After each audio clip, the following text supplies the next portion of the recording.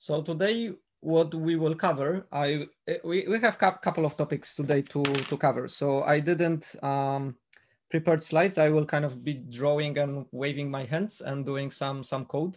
Um, because it, it is a little bit mix mixture of things that we talking today. So the first thing that we need to talk about is this um, IO monad and the magic of pure code and impure code. So there, there are, um, let me start uh, drawing things. So let, first maybe here. So if I, if I have, um, please work. So my Vim is not working. That's not that great. What happened? Yes. All right. So if you have functions, um, so I have function f, and it takes you know normal types. If it takes normal types and it produces kind of a normal type outputs, um, then I typically, we consider them pure functions.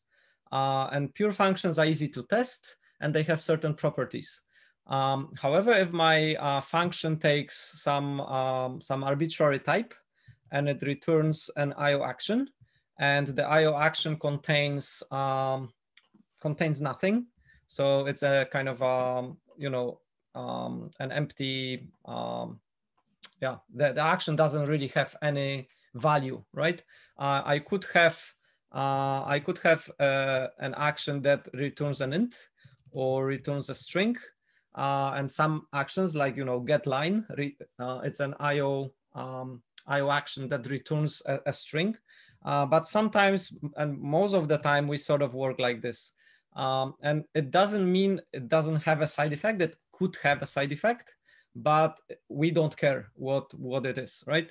So if we have functions like this, uh, especially with IO monad, uh, we tend to call them that they are impure because they deal with some sort of effects, some, some side effects. And we've already discussed that we try to uh, group effects into internal and external uh, effects. And they are both in Haskell, they are both dealt through monads, but the external ones, they have a special monad, the IO monad right? All the internal ones, they have um, a, a, slightly different way of managing it, but they still kind of deal with the effects. Um, and it, it, it is a little bit hard to explain it. It's um, and the language is not that precise. So if you look for it, if you uh, Google for those um, those topics online, you will see people having a lot of opinions and a lot of conflicting explanations, and it, somehow it it is a little bit um, difficult because you know it comes from mathematics from category theory and then you have computer scientists which usually come from you know uh, programming hardware and imperative programming you have to tell the computer what to do. And those two worlds this abstract mathematical world and the kind of the very pragmatic practical world they kind of have to merge. And on this like the, the merging thing is happening now. It, it's relatively new.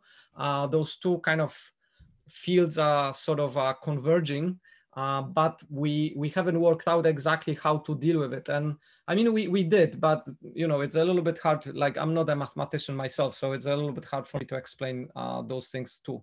Um, but but anyway, we, we have those internal and external effects. And for example, for the internal effects, we have a state monad. Uh, we, we have ones which we already know. Uh, for example, um, either uh, it's a it's a nice kind of uh, monadic uh, construct which allows you to handle errors or handle some kind of forks in your computation, right? So if I have some sort of computation and at some point I can have kind of a split into the uh, like erroneous or error driven path or a correct path, then I can use either. If I have to keep track of some sort of state, I can use a state monad. Uh, and then I have kind of a container where I can simulate uh, a concept of mutation of state uh, because I can update the state. It doesn't mean that dealing with the internal effects is not pure. Like given a particular state, my functions kind of update the state to the, to the new state. uh, but given the same state, it always gives the same next state. Uh, so the functions which operate on that, they are kind of clearly pure, uh, but the, the construct allow me, allows me to, to keep track of what that state is. Uh, and the state monad is uh, quite useful if you, for example, want to keep track of some sort of uh, representation of the state in your program. Um, like, for example, in tic-tac-toe, you may want to keep track of what is the current state of the board. You could model it. Um, so for example, in the tic-tac-toe case, sorry, you could have um, you could have a board uh, and the board is some some type, right? So you, you say, I have uh, a type of my board and uh, you can represent it as a list or you can represent it as a functional mapping or you can represent it as a matrix, whatever you want, you know, it, it's up to you, up to you, what, what you want the board to be. And then you can have uh, transitions. You can say, I have um, move which takes, so my function move takes a board uh, and takes um, particular move uh, that I want to, to make, and it generates a new board, right? And your function move is pure. It takes a particular state of the board, the move that you want to apply to it, and uh, you know uh, gives you back a particular board back. And that's a perfectly fine, perfectly normal way of representing the domain. And that will allow you to keep track of what is the state of the board without really needing to have a mut mutable state, right? Um, but programming that might be fine and it will work, but you may think it's a little bit of a handful for keep, keeping track of this board all the time because you have to pass this board like everywhere uh, and you have to keep track of, um, of how this passing goes. Uh, and also you cannot that easily compose things on top of the board because you have to pass it, right? So for example, you, you may want to say, um, I want to empty the board. So emp empty. So to empty the board, you will have to take a board and return a new empty board, right?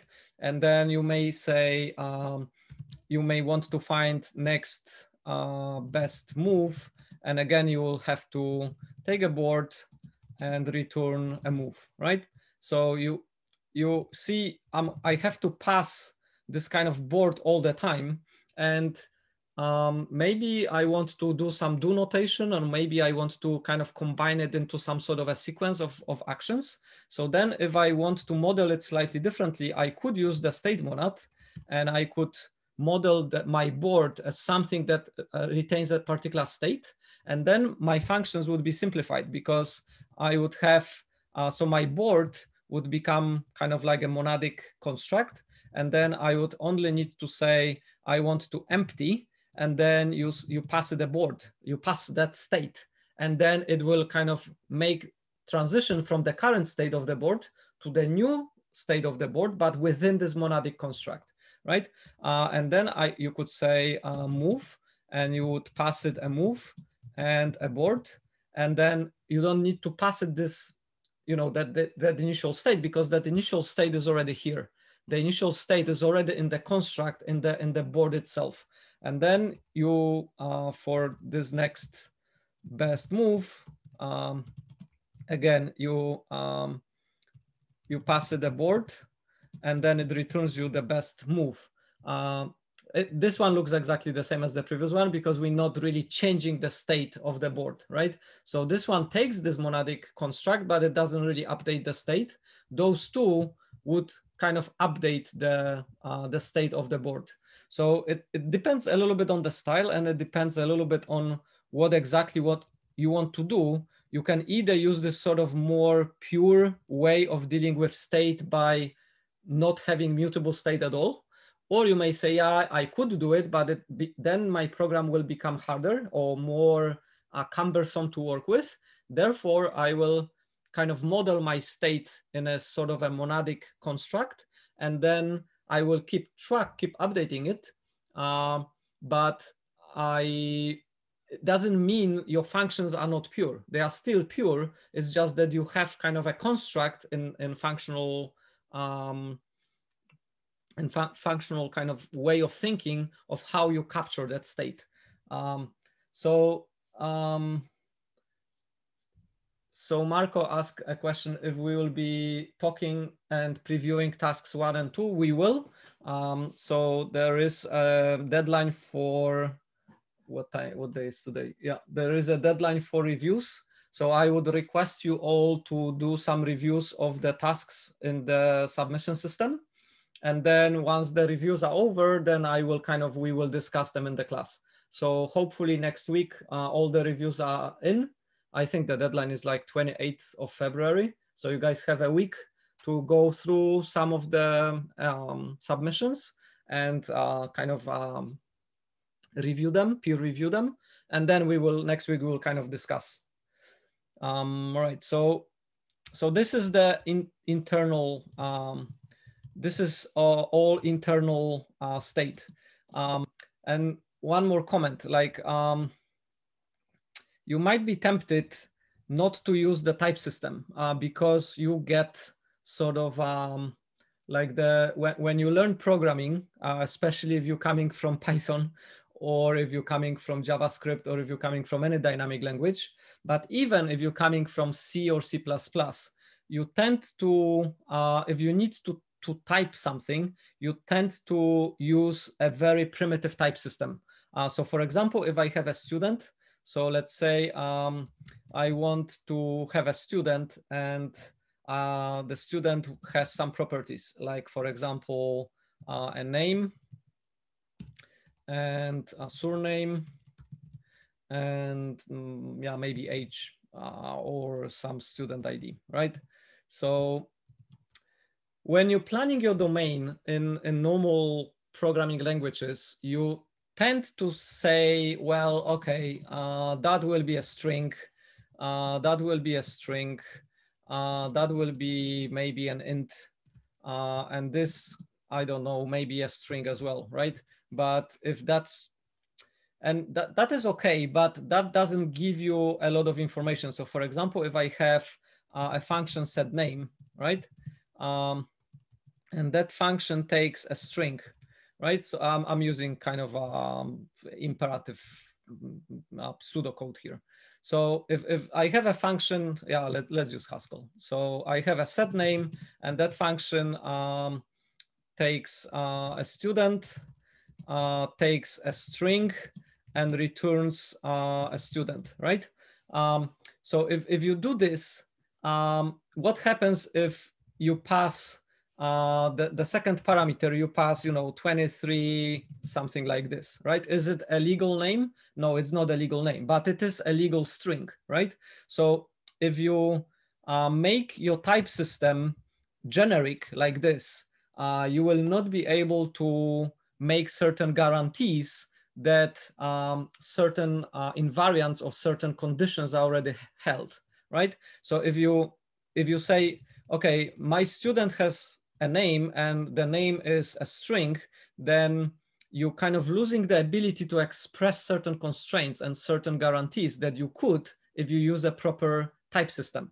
Okay, uh, so for example, if I have um, if I have um, you know I, I I do set name and I have some student s and then I have the name uh, and the name um, so I have let name and the name came from something like let's say the name came from um, a user input or uh, a file or something, right? So I, I, I kind of, uh, so I got the name here from somewhere, right? And it is a string, right? So at some point I have to validate if my name is correct or not. So where do I do it? Do I do it at that point? Maybe. Do I do it here? Yeah, maybe as well, right? I don't know. Like it depends where where you're dealing with stuff and where you have to have this guarantee. So the better approach is you say, no, no, no, the name is actually of type name, right? So the name is a name and the name, you, you just say, you know, type name is a string. Uh, you can do it as simple as that. Uh, it's it's uh, kind of a type alias. You, you define your new type which is called name, but it has all the properties and it behaves exactly the same as a string. It just have its own name. Um, and it in Haskell, it's really uh, zero overhead abstraction. Like it costs nothing to either do this where you say name is a string, uh, you know, name is a surname is a string and name is a name. In Haskell, it makes no difference whatsoever. In many programming languages, you have additional overheads by doing this, but in Haskell you don't. Uh, and that's, you, you are kind of really encouraged to do that. And it has two big benefits. One big benefit by of doing that is that here, suddenly your function is meaningful, right? You have a function which takes a student, a name, and returns a new student. And that kind of just by looking at the type, right? And even if you Google, like Google it, you will get the function which allows you to sort of mutate the name of a student, right? You kind of see it from the type definition. So it's a self-documenting thing. If you set here a string, uh, especially if you, for example, say, you know, if you say set props, right? And the student takes name, uh, surname, and an age, um, so if you are setting the properties of the student and you know you're setting name, surname, and age, and this signature is much more readable than if you set string and string, right? Um, you, you have to remember which one was the name and which one was the surname. Um, yeah, let, let's make it even more real, like uh, set name, uh, and the set name takes name and the surname and then sets it to the student, right? And like if you call it string, you sort of don't, you have to remember which one is which, right? Uh, in your code. Uh, but if you make it properly type, um, uh, surname and the name, then it's obvious which one is which. And you have additional thing, um, surname. So additional, additional thing is that if you got name from somewhere and you have certain constraints of what name can be and cannot be, then this string uh, following your constraints cannot, cannot be a legal name, right? It is a legal string, but it is not a legal name. So if I, for example, have, um, if I have this um, function here, right? I'm getting a name from file, right? And this function uh, will return me a maybe name, right? Uh, maybe name. And then if this function, like if I read something which is like this, I will return nothing. But if I got a legal name, I will return a name. So I have guarantee that the name uh, of type name is kind of properly formatted, whatever the constraints are. So when I get a name and it is uh, not nothing, then I know that I can pass it and this has those properties that I want it will have, right? So you can check kind of everything on entry. And then once the type has been created, once the value has been created, you have a guarantee that this value will not have invalid state because you can only have valid names in your, in your code. You cannot enforce it on, on string, right? Because this is still a valid string. Uh, but by your own rules, by your own type system, you can enforce a rule that this is not a valid name and you will never have a name look like this, right? Um, so, you know, don't do, don't do primitive types, always do uh, types that convey some, some meaningful information, right?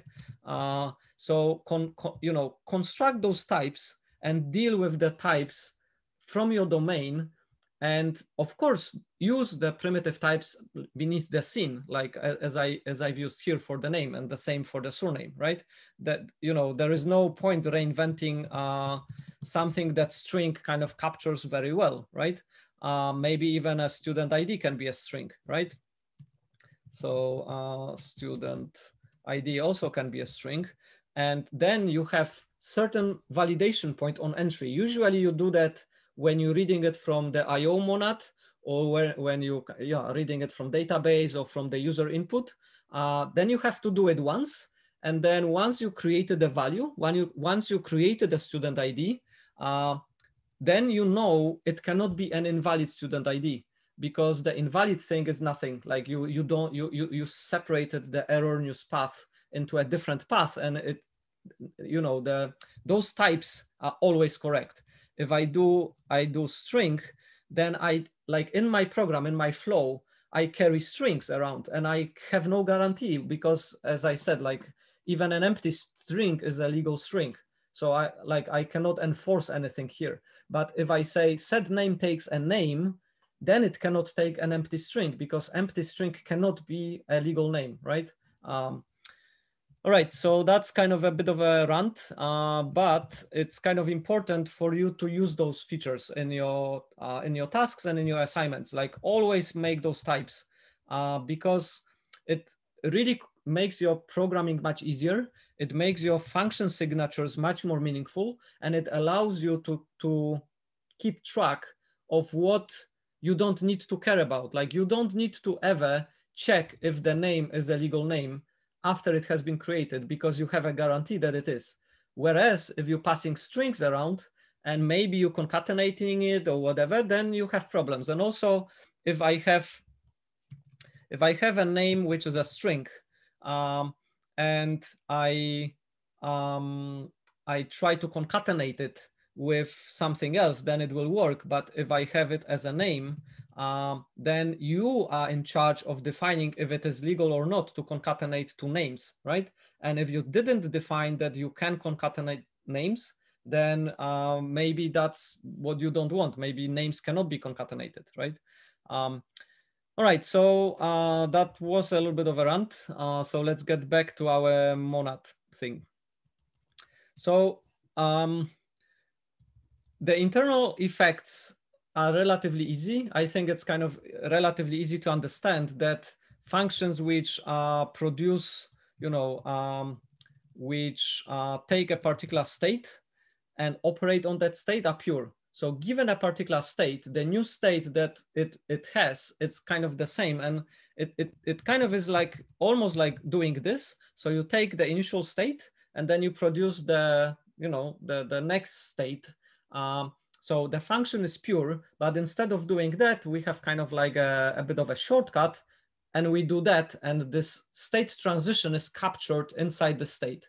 So you could say, yes, we're mutating a state and it's impure, but that's not necessarily strictly true. So like um, it, you know, testing this is much easier because you can mock the initial state much in, in a much easier way but, but it's almost the same almost identical and and doing it this way allows you to do this do notation and allows you to do this kind of a sequence inside f of what you want to do right so like sometimes this one is fine um as i said like for example with the board right so if I, I if i need to do something with my board i can do this and it will feel fine inside the body. But sometimes you feel, yeah, the body is like, I have to do a couple of things in sequence uh, on top of the board. And then I have to keep track, like uh, it gets a little bit messy because of like composing the functions. So then a solution to that is to, to use a monad and to do this. And then inside my F, I, I have a do notation and then I can do, you know, I can do things in sequence uh, on, on the board and I have this kind of an, a nice, um, so I have this nice ability to read from the um, um, from the monad with the with the arrow notation, right? So it it makes yeah programming a little bit easier. So okay, I I hope you're sort of getting it. If not, you will need to read the book. I mean, the lectures are fine, but the lectures are just very com compressed, kind of um, quick overview, and you get a more slow and more kind of elaborate explanations in the book. All right, so then IO. Um, IO is a bit of a mystery, but it's really kind of the same. So imagine that we want to write a function, uh, any function, again, like function f, which does something with the real world, okay? And we want it to be pure. So how would you do a function which works in with the real world and it's kind of pure, um, well, you, you, your signature would have to be something like this. It takes the, the world and then does something to it and returns a new state of the world, right? So of course we cannot write function like this, but we can constrain our world to something smaller, right? So what if we constrained like um, informally that the entire world is just two streams, right?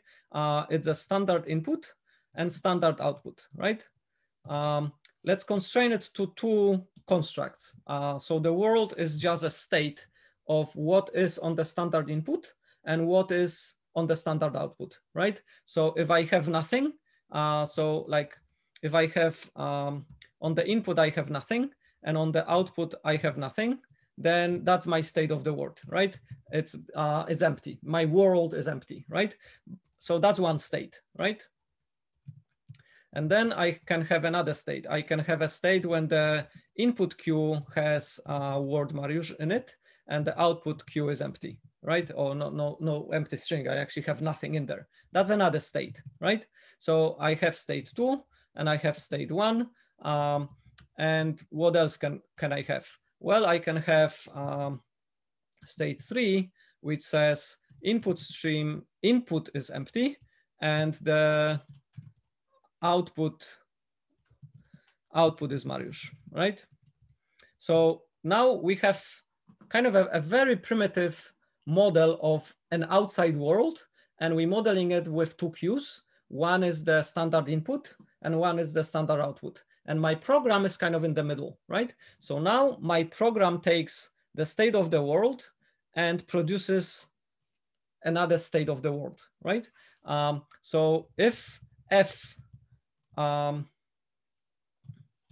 so if F takes uh, state one, right, uh, and produces produces what? So what F can produce from from empty state one? Well, it could produce state three, right? It cannot change anything in the input, but it can change something in the output. I can print something out, right? So if, if the input is empty, then I can change it to an empty, to, to this uh, kind of identity state one, or I can manipulate what is on the output, right? So I could possibly have state three, right? Um, so if I produce, if, if I take state one in, then um, as a output, uh, I could have state three. Uh, is, the, is F pure? Yes, it's pure. I mean, given the same input state, it always produces the same output state, right? Um, okay, so what if I have, um, what, what if I have state two? What states can I produce? I can eat, I can read from, from the input, right? I can uh, get a line or get a word and I can eat up the, that state and make it into state one or state three, right? So I can kind of manipulate it by manipulating those queues, right? So in that sense, IO monad kind of wraps around this input and output queues and it sequences them in such a way that given a particular state of the, of the world, it will always produce the same consistent state of the world, state of those queues, right? Um, it doesn't mean that um, Haskell knows when somebody types, like if, if, if, in my function f, I have, um, if I have, you know, uh, get line, um, then of course Haskell doesn't know that um, the person who, who gets the prompt types Mariusz, right? But that's, that's not what Haskell does. What Haskell does is they, pro, you know, the compiler processes all those um, sequences of actions orders them into kind of a sequences, and then takes the particular state of the world, uh, which has those input kind of typed in, and then transforms it to the outside, uh, makes this kind of a transition from the state of the word from one state of the word to the other state of the word, and then prints whatever the, the new state of the word is. So from outside, it appears as if we have a normal um, uh, imperative kind of way of dealing with the external effects. But actually, in Haskell, the external effects are dealt exactly the same way as the internal effects. And then the main function has a very you know, unique property of being able to actually dump it out and read it out from the, from the outside world. So if you have your IO functions like not in the main, like in, in the, yeah, in your kind of library, they're all pure because they always take a certain state of the world and produce consistently the same state of the world um, given the initial state. So there is no uh, like there is no randomness. There is nothing that can that can change that you get the mapping differently. The mapping is always the same, and that's what pure functions are. Uh, but you have those kind of external effects that happen because those IO actions are sequenced inside a main function, and they actually have you know noticeable external effects on the screen of the computer. Um, so even though the functions are pure, you still get kind of the effectful computations done, right? Um, informally, we say that the functions which use IO monad are impure, um, which, which effectively means that they have those kind of effects. Um, which yeah it's kind of a, a bet uh, yeah you, we have to distinguish somehow the the functions which do have those sort of external effects or not. Like all the internal effects uh, the monads which do have internal effects they are easier to deal with because they don't even though you do sequence them as well they have internally they there is no difference. The, the behavior internally between uh, the io monad and those internal monads is exactly the same. It's just that this one has this unique property because of the main function that it actually results um, results in uh, external external effects, right? So effects that are beyond the containment of your program itself. Um, so if you run your program like uh, back and forth multiple times, then on the screen of the computer, you will have different things, right? But if you run this program, like internal program, back and forth multiple times, you will achieve the state, which is exactly the same as if you run it once, right? So if you do steps like forward and then backwards and forward, the state, even though you have this kind of mutable state in your monads, the, the state will be exactly the same. Here, because we have this main function and because we have those potential side effects external to your program, then if you run it forward and backwards and forward, then of course the internal state will be consistent, but the external state is not because you do have this sort of uh, you know external uh, world that you are affected by your computation. So I don't know if that helps for you to kind of uh, understand it, but um, for me that that kind of works um, I do get the internal state quite well. And especially if you like either is fine, um, even, even maybe is fine, uh, but you really get kind of like click of what this internal state is once you start using the state monad. Um, so the, the state monad is quite, quite nice to represent kind of a mutability. Um, and then it sort of is just one extra transition to IO uh, from the state monad because uh, the, uh, the IO monad has this additional property of dumping something to the outside of your program, right? All those are just within the context, you know, con confinement of your of your program itself. All right, so that's uh, a bit of a ranty discussion. Uh, do you have any questions? I think from assignment, uh, from task one and two, you don't really need to get it. Uh, but once you start doing assignment one, and one, once you start dealing with the board, and then you have to con continue to care of what state the board is in, then you will notice that uh, you may benefit from using a monad. Um, and I didn't, like I did the, assi uh, the, the, um, the assignment one without using a, a, monadic, monadic state. I did it with the um, uh, just with the pure functions. Uh, but I can see I can refactor it and I can benefit from using the monadic expressions, especially for predicting the moves. Uh, because I have to kind of sequence certain operations on top of the board because you know you have to find the next move uh, from the current position.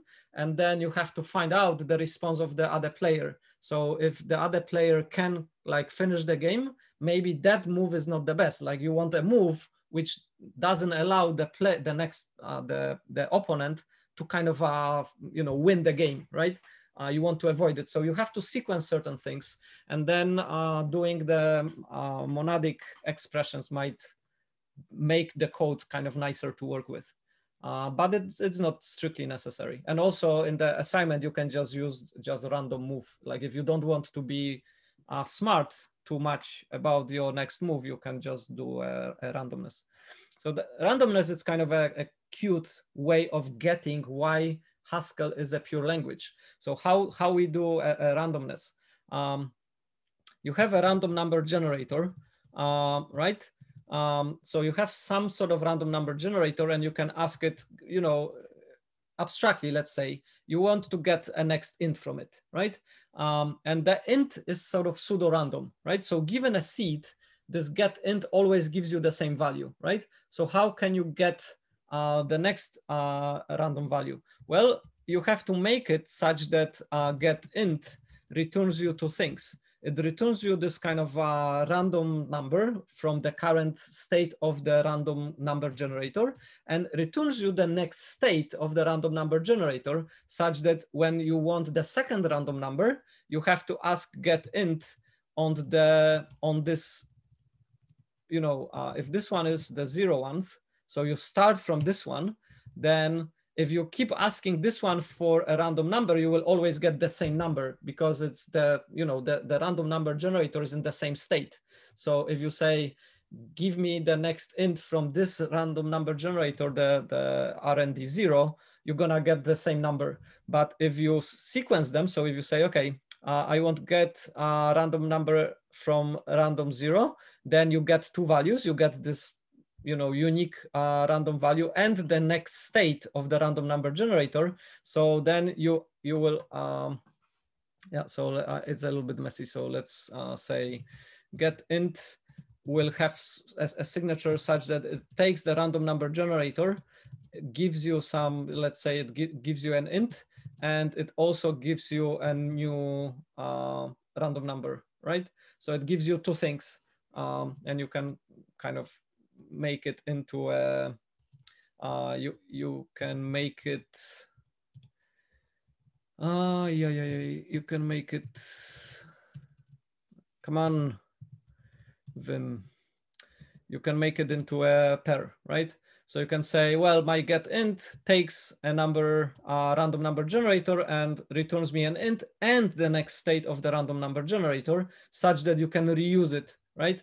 such that when I'm calling, um, so I would kind of, uh, so in, uh, so I will have um, my first number and the state of the random number generator. If I call it get int on the, uh, the you know, the, the zeroth one, uh, and then if I want the second number, I would have to say, okay, let let's let's the second f1 and G1 equals get int from uh, from G, right? So now I have two numbers.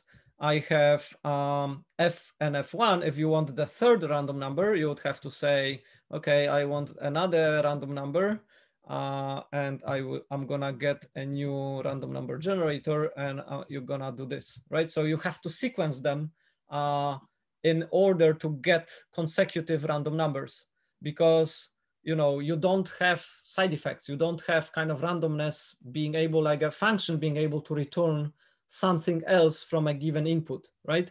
In imperative programming if i have get int uh, which operates which takes uh, some sort of a random number generator um, then i don't have to care of the internal state of the random number generator, right? So I, I, have some sort of, usually in imperative, you have some sort of random number generator and you call it multiple times.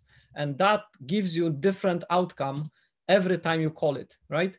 Um, that's not possible in Haskell. You cannot get output which is different every time you call it uh, with the same input.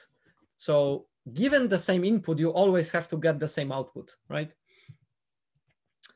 All right, so that's um, the monads. It took longer than I thought it's gonna take. Um, so uh, next topic. Uh, next topic is decentralization in computing and architectures, like how you organize your software. So it's a little bit different topic. Uh, it's a little bit more, um, we have to change our heads. So, you know, from programmers and kind of uh, dealing with the language, we now become kind of a software architects. And we have to deal with uh, questions of how do we build software that it's robust and that's flexible and that's um, you know maintainable and allow us to evolve it okay so those are kind of a different um, different questions so before we start uh, let me uh, quit uh, this and I will kind of go to the demo. So I have a um, couple of demos here. I pu push them to the course repo. Um, it's a simple hello chat, like a hello, um, not, not hello, like um, echo client. That's what we did with a standard input, standard output before, right? Remember we had kind of um, an ability to read something from the um, from the standard input and then kind of uh, print it to the standard output. Um, and we did, we, we in the Go, Golang course, we did a simple client server such that we could have um, a, a, connection between um, the uh, input. So, so one once uh, part of the application was a client and the other one was sort of like a server. And then the clients were serving, uh, pushing stuff from the standard input to the, to the server. And the server was kind of uh, distributing it to, to all the clients. And then it kind of worked, but every time you deal with standard input, if you close the connection, like if you close the, the, the pipe, uh, the program would kind of finish. Uh, and also when you stop the server, uh, then all the clients were kind of dead, right? So if I have multiple clients talking to the server, and then the server needs to be rebooted, right? So I have maintenance and I upgraded the server. So I have to shut it down and restart it. Then all the connections with the existing clients would go down, right? So that that it was re really fr fragile, right? So it worked, but it was quite fragile. So let me draw uh, an example. Yeah, so let's see. So if I have, um, yeah, let's say I have uh, multiple clients um, and then I have sort of a server and I have a connection between the clients and the server. Uh, and then every time I kind of kill that, it kills all the all the connections, right? So that's not good. So what's uh, what's the solution to this? So if you want to be able to upgrade or modify uh, this this uh, thing here, uh, but you don't want to lose the connection of of your components. Don't think them as as programs or as um, sort of uh, you know web browser type of programs. Think of them as components of your of your system. So my application is this. This is my entire application. It's let's say it's some sort of game. Uh, I have some components. I have some things. I have some you know uh, maybe I this is like a, a, rendering engine, right? So it it uses some sort of um, component entity component systems, and it has a connection with some of the uh, state of my objects. I don't know, whatever that is, right? Anyway, I, I need to restart this and I don't want to break all these connections, right? So what can I do?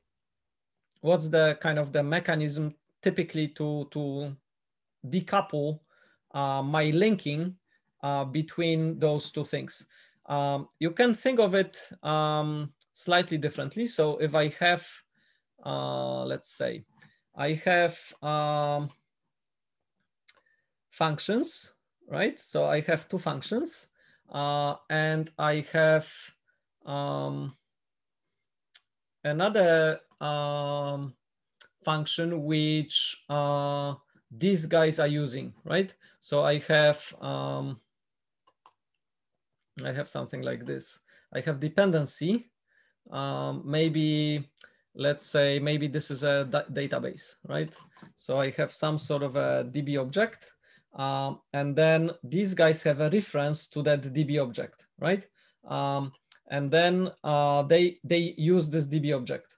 Uh, and my program runs and everything works. But at some point I say, oh, I need to upgrade this. I need to um, like remove that reference. I need to change this uh, to a new object, right? So I need to up update this. Uh, and um, instead of these guys calling on the old reference, they have to call on the new reference. I, I had to dispose this. Uh, then, um, you know, th this link is broken. So now they should talk to this guy, right? So how do we do that? uh, how, how do we make some component being flexible enough such that um, I can swap this actual instance and this will continue to work. Yeah, so Sindre is suggesting pointers. Um, pointers is good, but it has limits. So for example, if I had to release the, the memory for this guy and I've, I've used a pointer, right? So these guys were pointing to, to this guy, then uh, me, you know, uh, yeah, I, so, so uh, the, the answer is co almost correct. We, we don't need a pointer, we want a reference to a pointer, right?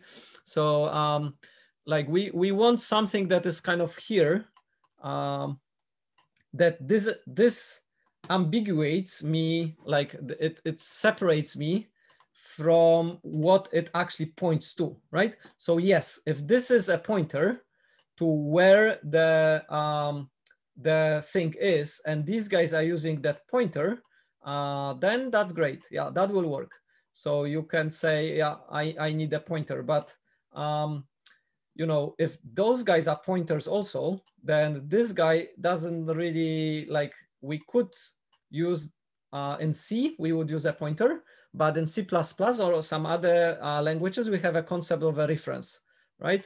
So I can um, make a reference to a pointer and then um, like I can change it and I can update this reference to point to a different thing and it will kind of work fine, right?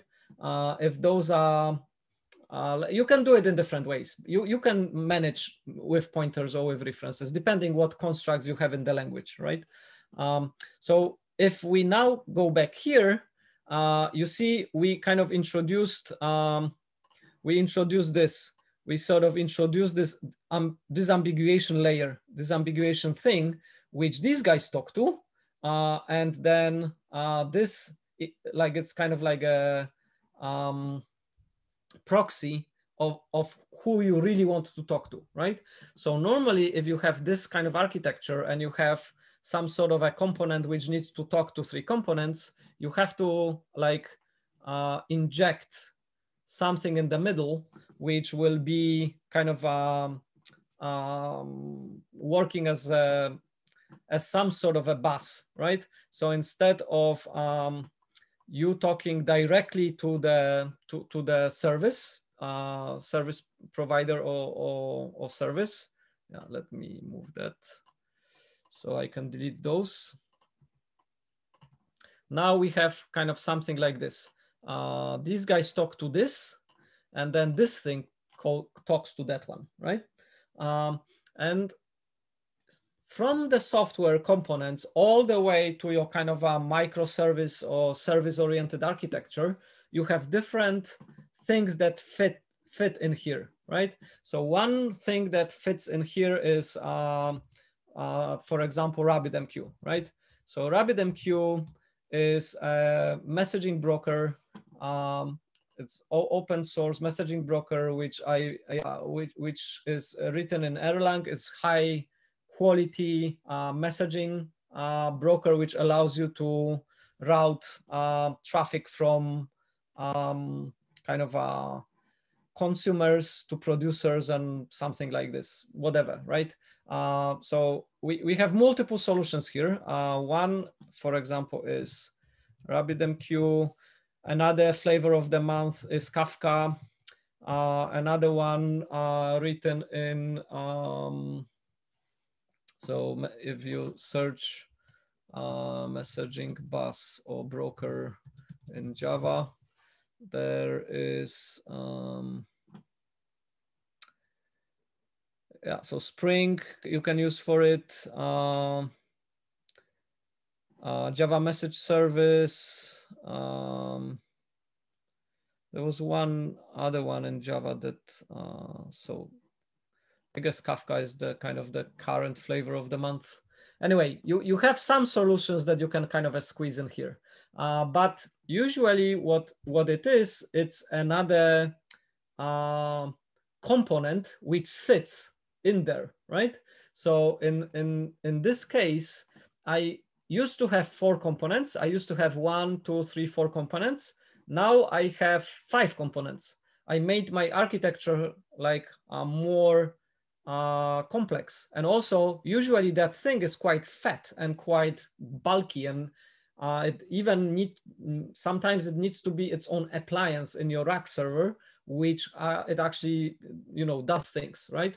Um, it's very non-agile and it's very heavy uh, to inject something like this in into your architecture, right? Uh, another solution you could use is you say, well, uh, we, I can use REST, right? I can use web technology. That's what you're learning in cloud. And I can inject it here and have kind of a very nice microservice architecture such that uh, I have my services, they all talk through REST. Uh, and it, it is nice, but it, it is kind of fake in a sense. Like if you if you're doing it for your like again, like we what we want is we want this to be, uh, we want our system. So we want our oops, uh, that's stupid. Yeah, so our system is this, and we want our system to be modular and very agile such that we can move the parts in and out and shut them down, put them back, and so on. And now we are required to have this heavy machinery in the middle being a web server or being kind of a, you know, Kafka or whatever that is, which allows us to separate services. But in fact, if you like try to pull it, like if you take this kind of a, and you pull it out, you, you will see that everything hangs on it. You, you have kind of a monolithic architecture that has all those services attached to it, but in, a, in, a, in a essence, it is still kind of a very monolithic, very heavy um, uh, solution to, to kind of decomposing your application.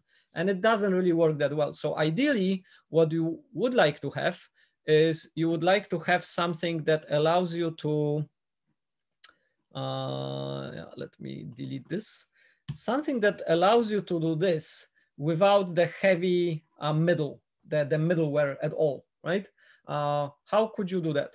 Well, um, you see here we have to introduce some sort of a reference like you cannot really avoid having something in the middle like you have a very lightweight machinery which is uh, either pointers or references. Um, and that allows you to de um, to uh, separate one layer from another right? So I have um, two layers. I have one layer here and I have a layer there. And the mechanism here is extremely trivial, extremely simple. And in fact, it's, it's like in the middle, there is nothing really, uh, because that thing, that red thing, that, that reference thing kind of sits here, right? Uh, so the, the middle part continues to be extremely lightweight. Uh, we, we, we know we don't have anything here. Uh, instead, uh, what, what we changed is we made that um, these guys have kind of a, a, a, reference which points to particular thing, but that reference can be uh, mutated, can be changed such that it points to this new thing at will, right? Uh, so they kind of know uh, by, by having this pointer or this reference what they should use. And then your uh, software can kind of say, yeah, by the way, that has changed. And instead of pointing here, now it points here. and it like your app doesn't care, like your module doesn't care. It just has this kind of little thing here, uh, which points to whatever it needs to use and it works, right? So we would like to have the same here without this heavy machinery. And the answer is um, uh, ZeroMQ. So the, the answer is the technology which we kind of are discussing in, in this module. Uh, and it is in a form of a small library. So instead of um, kind of a middleware of some sort of a system or component that sits in here, we have kind of a, a small library which sits in all your components uh, or like it doesn't really sits there, but they, you know, the library is here and the, the guys kind of use the library, but it's for all the components separate. And here you have this sort of uh, fuzziness which the library generates and hel helps you to build. And then you can arrange the flow of your communication, the flow of your dependencies, and the flow of your um, uh, mechanisms the way you really want, right? Um, so it's not a broker, it's um, kind of a protocol stack, which allows you to have something that looks like a broker without a broker, right?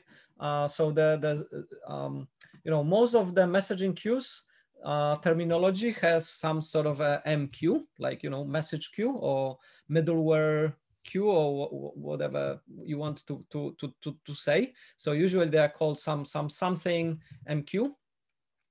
And then ZeroMQ is no different. It, it's called ZeroMQ. Uh, and the zero says that there is no broker actually. Uh, all the other solutions, they you know, require you to have a broker. Uh, ZeroMQ doesn't, right? Um, so that's one big difference. The, the second big difference is that um, most brokers um, are not necessarily agnostic about the messaging or how, what you can communicate. Most of them use some sort of um, um protocol constraints of what you want to be passing around. Whereas with ZeroMQ, there is no constraint. And also zero MQ is not based on the content, it's based on the concept of frames. Uh, and then the content is up to you to design. You can use strings, you can use uh, byte buffers, you can use whatever you want. with other ones, most of the time as well. But here you have kind of a, a, a different flexibility of how you arrange it. And you, yeah, you're kind of working on a slightly lower level than, for example, with, with RabbitMQ. So you have more power and you have more independence of how you arrange it and how you design it to work with your particular application, okay? So why, um, let, let me go to uh, ZeroMQ documentation. And if you um, start the documentation, one thing that kind of jumps at you is that you are language independent. So you can uh, work with whatever language you want. Uh, and in your case, you will be probably working with Go, Haskell, and Rust. Um, and you can sort of build different modules or different parts of your application in whatever language you want, and it will kind of plug in very nicely. Um, so that's kind of the, the, the, the first thing. Um, the second thing is that you are uh, quite transport independent, right? So we have uh, with ZeroMQ ability to do this kind of echo client, which we did with TCP IP. Uh, so the TCP is one of the um, protocols that you can, you can use, but you can use in-memory uh, inter-process communication as well. So you can basically uh, bypass the, um, the networking stack altogether if you're building it for your components inside your own uh, single application and do communication kind of in process. Uh, and you can also do that inter-process, right? So in process is if you have uh, multiple threads in the same process, uh, and then they can talk to each other, they can communicate. And inter-processes, you have uh, uh, threads which are living in a separate processes, uh, or even separate applications, but on the same computer, such that you don't need to use network, you don't need to use TCP IP, but you can use the uh, named pipes. So you are familiar with named pipes already, uh, because we tried to do that for some of the uh, work that we did, uh, such that you can use that as well. And then you have um, additional, like you can use the mechanism with WebSockets. So you can communicate from a web application to another web application or to the server. You can communicate from a, a server side to the mobile side, or you can kind of uh, communicate. Um, it, it, doesn't matter. It's, it's, it's really, really flexible, right? Um, so um, the concepts are kind of the same for all the languages. And the important part are the patterns of how um, the, um, the communication works. And there are a couple of initial ones that you can build more complex things with, right? So in our, um, in our initial thing, we've already started with um, one of the patterns, which is we have multiple clients and they like uh, either this guy needs something from multiple clients or they all need something from from this guy right? So it's a communication which is um, from a particular component to let's say three components. And when this component announces something all three components should get it. Then you use a pattern which is called publish subscribe. Um, so in publish subscribe um, Let's have a quick look uh, into the diagram. So yeah, publish, subscribe works kind of looks like this. Um, so you have some sort of a publisher and then the publisher uh, announces something and then all the customers which are interested in that particular topic or particular thing, they will get the notification. So we use a notion of a socket, uh, but it's it's not like your typical TCP IP socket. It's a, a more abstract notion of a socket. It also has an uh, if you're using a TCP up um, TCP communication uh, mechanisms, it has kind of a URI like you would expect. So you have an IP address and the port. Uh, if you're using inter-process communication, it would be like a file path to your named pipe. Um, and then this publisher kind of announces where it listens and then all the kind of our customers connect to it and then every notification gets to everybody right? Um, so pubsub is the type of a socket. So when you in instantiating it it kind of uh, generates the uh, the particular type for the socket and then uh, it wires up internally like the library kind of wires things up for you uh, so if we go to our example, so I have uh, ZeroMQ demo in Haskell. So if we uh, code, if we have a quick peek at, at how it looks like, um, I have used a, um, I've used uh, Haskell in such a way that I can generate from a one stack project, I can generate two executables. Um, and I uh, put both publisher and subscriber into the same library, such my such that my app, uh, the the two main functions are very simple. They just say, okay, I am a subscriber, and this main says I am a publisher uh, but both the, the functionalities are in kind of a single file in the library file. Um, so as I said, um, the publisher uses bind and the subscribers use connect. Um, you can, you're not forced to do that. You can swap them around. Uh, but normally if something is more stable, something kind of persists more in your network, uh, usually you, you make it identifiable. And then when you make it uh, identifiable, then you use a bind because the connects are kind of more anonymous. Uh, the bind doesn't care from where the connects happen, uh, but the connects have to know to whom to connect, right? So the um, this guy makes a bind to a particular address. And the address, I said, okay, open the connection on all the interfaces on this port. Um, and then the, the subscribers will kind of connect using uh, local host and that port uh, to the um, to to, to the publisher. And then um, that's all that you need to wire that up. You, you effectively need like three lines of code to wire things up uh, for TCP IP communication, or you can change this to use the in-process one uh, if you want. Um, and then if you if you run it, so if I say uh, stack run, so what happens if I run the subscriber first?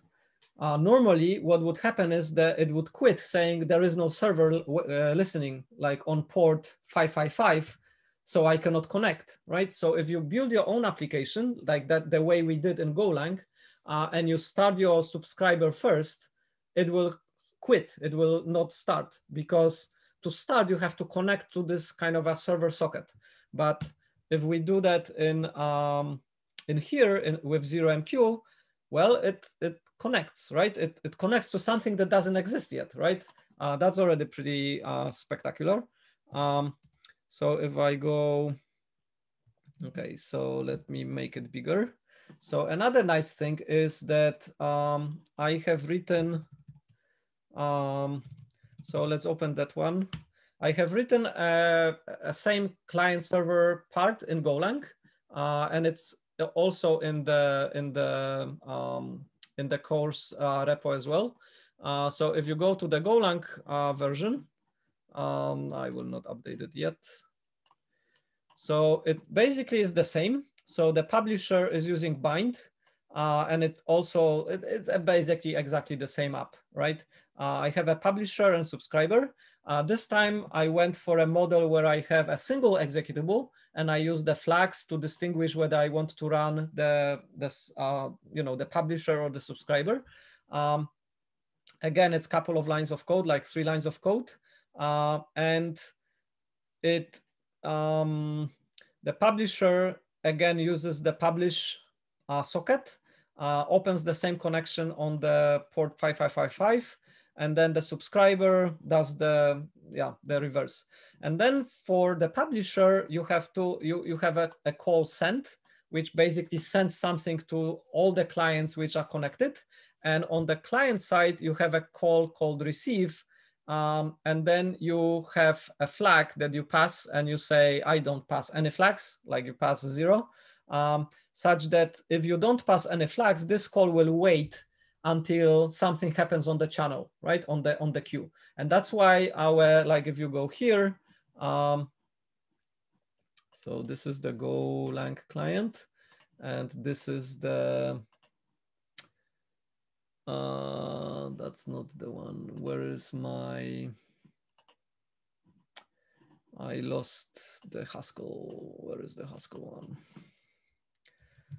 So this is the Golang let's make it a little bit smaller. So it's here and then where where are you? That, that's the one. Yeah. So this is the yeah, let's kill the subscriber again. Clear it. Uh, so this is I'm running here um, the subscriber in Haskell and it kind of runs and waits. And here I will run the server on the uh, in the Golang. So uh, go build, let's build it.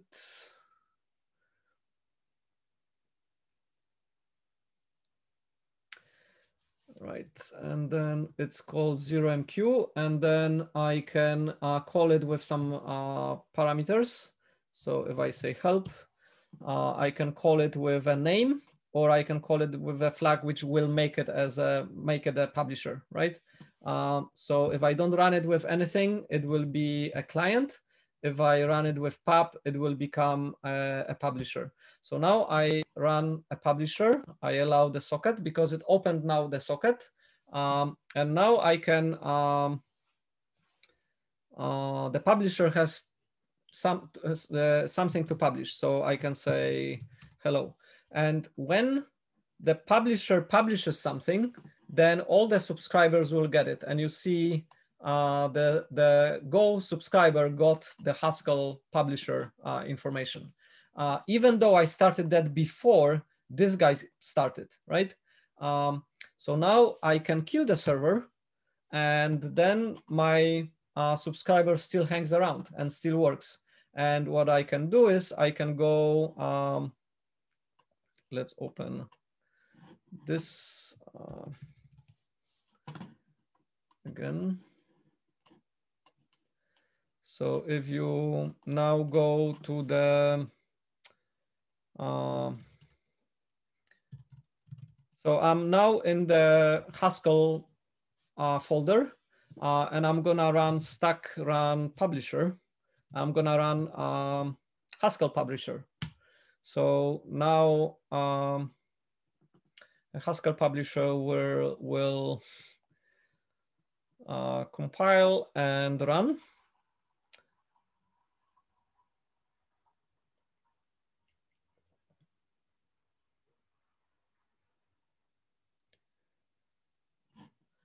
All right. It, uh, remember that my client, the, the Haskell client continues to run, right?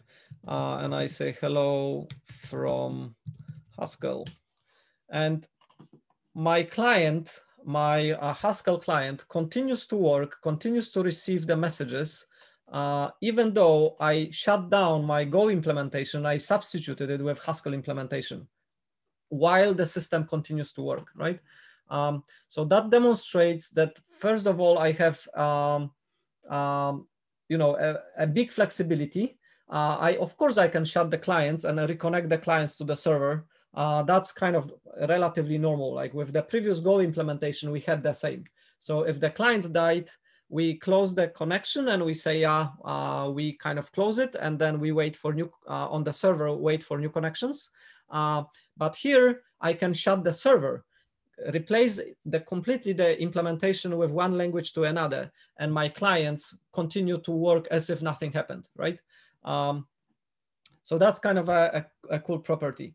And then you have um, other things. So you have publish subscribe is just one pattern that you can use but you can for example um, mix it with uh, you know um, a proxy such that you have multiple publishers with multiple subscribers working in kind of a this pattern, right? So I have um, kind of a proxy in the middle, which allows me to cross and match uh, different publishers and subscribers. What if I have a simple thing that I only have um, uh, uh, request response, right? So if I have request response, I can do, um, there is a, let me see. Um, yeah, so let's go, maybe the diagram is here. Yeah, so that the normal typical pattern is you you um, have a reply on the server side, you, you call your socket rep, which is for replies.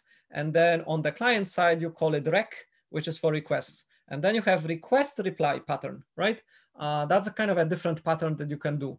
Um, you can mix uh, request and replies with some middleware which disambiguates like or um, you know inject something in the middle. So this request reply for example we try to do with the with the games.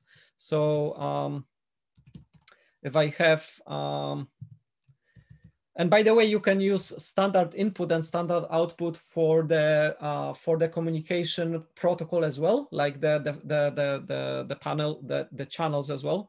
So what we tried to do was uh, we have program one uh, communicating um, with the in and out, um, and then uh, program two was trying to crack it with an in kind of a, and you have a matching pair. But if you hook them up together, then you don't know what is happening, like you don't see it, right? So what you can do is you can kind of plug a middleware which um, takes kind of an in, actually takes out and in from uh, one of them uh, and in and out from the other and it kind of works like a, a, middleware which you again you you hook up program one and program two together but you have this middleware which allows you to do something in the middle.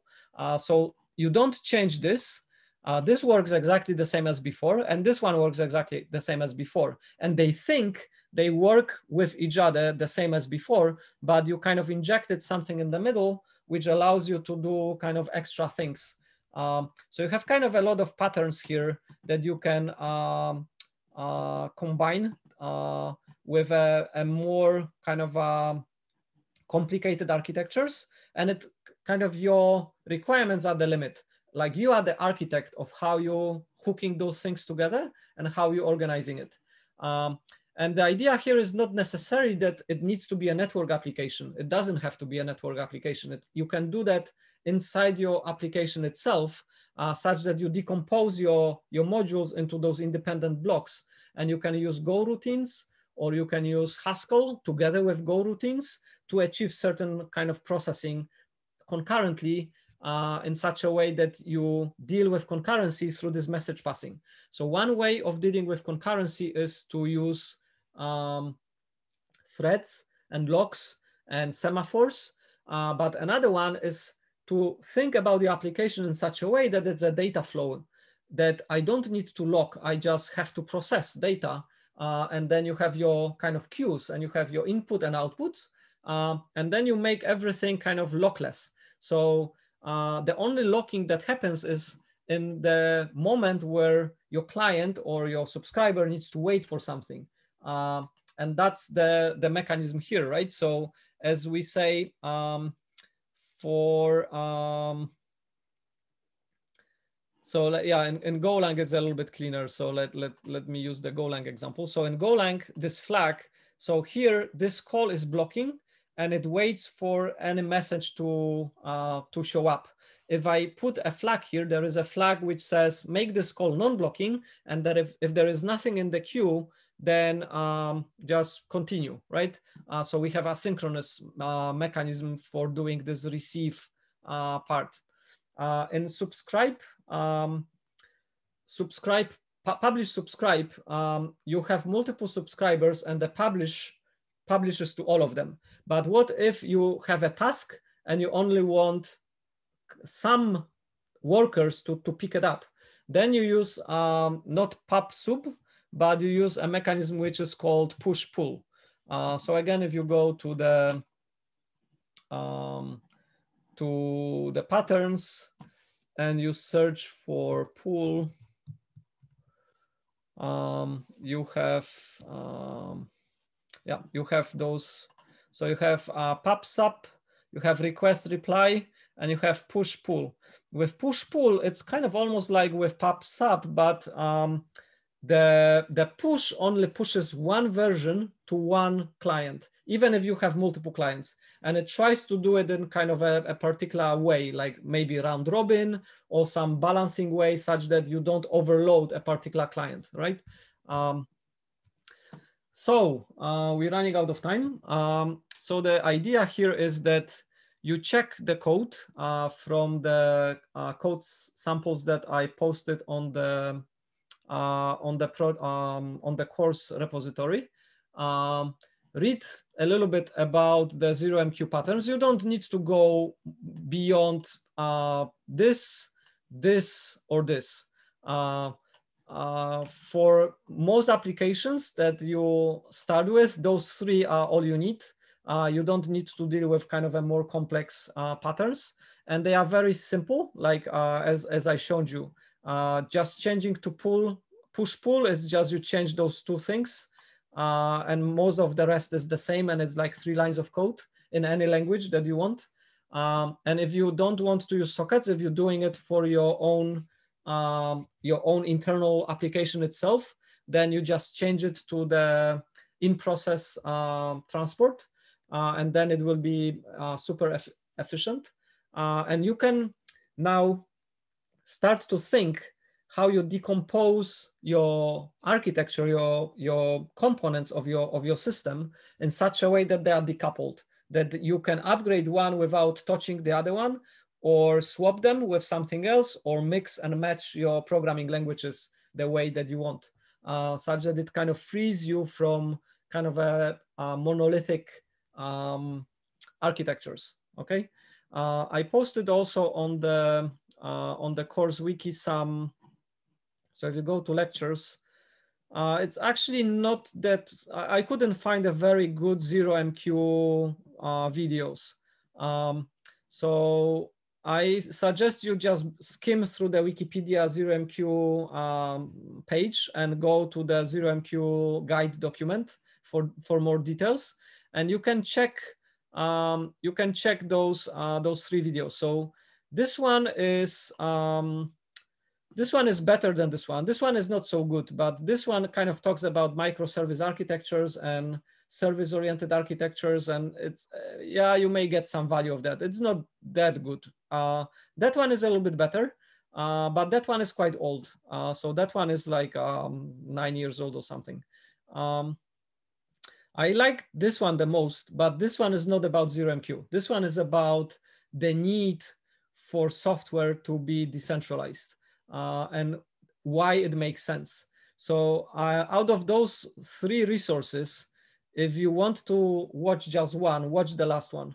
Uh, the rest you can get from the guide. You don't need to watch those other three, but uh, watch this one. This one is the most important, and I've it kind of really changed the way I think about software uh, because I used to think about it in a more traditional way, uh, but now I'm kind of sold on the idea of decentralization and that the, the way that um, software should be constructed.